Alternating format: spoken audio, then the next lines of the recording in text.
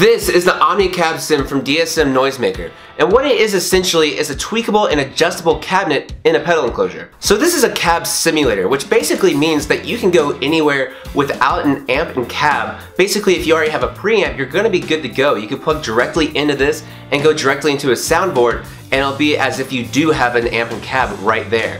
And with this, there's a lot of different adjustable small things that completely change and shape your tone the way you want it. So let's dig into the different controls of this pedal, starting with the high response. Now basically this lets you emulate and adjust the low pass filter that you would get with different speakers in different cabinets.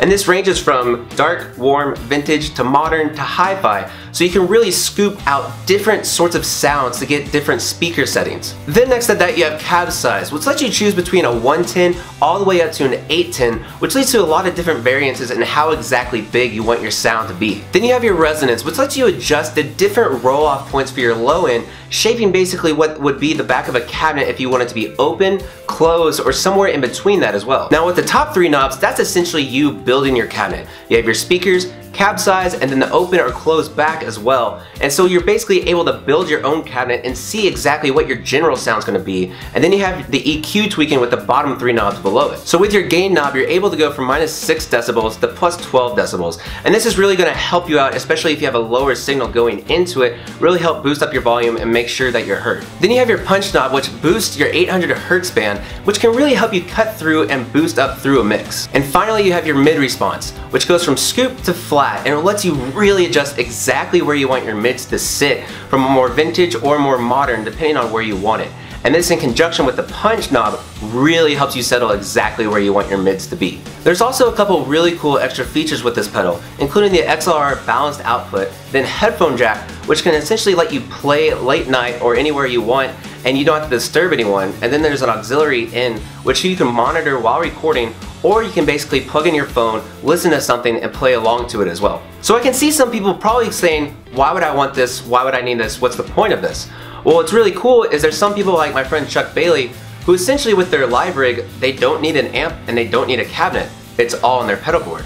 Basically, he'll have his regular pedals and then he'll have basically a preamp like his Darkglass that'll go into the OmniCab Sim and from there he goes directly out onto the board. So you have your amp and you have your cabinet, but it's on your pedal board. So it's very lightweight, very rugged, and it sounds great. You're not sacrificing anything by not having an amp and cab on stage. And even if you do have a traditional amp and cab setup, you can still find a lot of use with this pedal on your board. It can really shape and control your tone and get you the exact sound that you're looking for without coloring your tone of the different pedals that you can have behind it.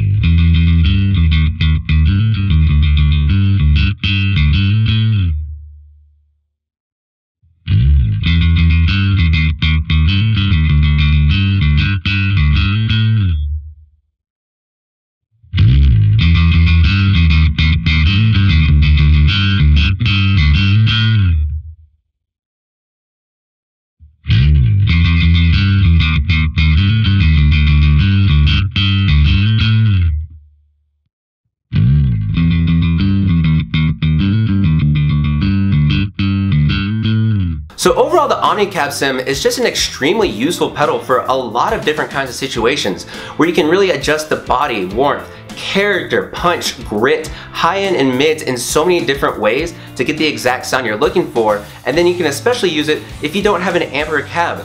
This is your cab. It's just really cool to see so many different features all in one pedal that can really shape the tone exactly how you want it.